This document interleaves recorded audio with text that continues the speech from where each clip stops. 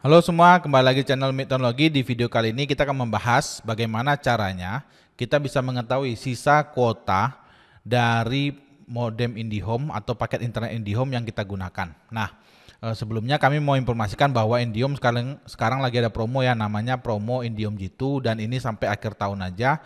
Diskon biaya pasang barunya kita dapat 70% dan kita gratis satu bulan berlangganan. Jadi teman-teman bayar uh, IndiHome ini kalau teman-teman registrasi yang pakai G2 ini langsung kita mendapatkan gratis satu bulan berlangganan. Jadi misalnya teman-teman berlangganan setahun, berarti nanti di bulan ke-13 dapat satu bulannya. Nah, nanti teman-teman kalau yang mau daftar pilih aja nanti paket G2 1P untuk yang dapat diskon pasang baru. Nanti link pendaftarannya bisa teman-teman klik di deskripsi.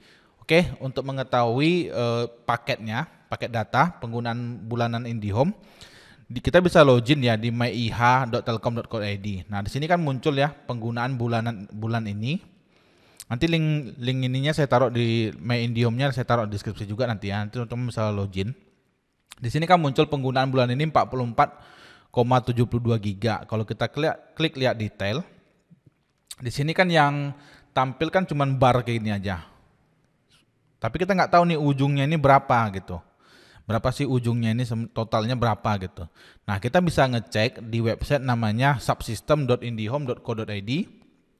Nanti eh, linknya saya taruh juga deskripsi. Nah di sini teman-teman tinggal masukkan di sini nomor internetnya nomor internet masukkan lalu teman-teman ketik ini uh, kode captchanya nih kita coba ya kode captchanya 012 G lalu kita klik tombol submit nah di sini langsung muncul selamat datang pelanggan IndiHome sisa kuota Anda 1054,35 giga jadi sisa kuota dari IndiHome saya ini yang ini di ujungnya ini ada 1053 lagi gitu, 54 lagi, 35 giga.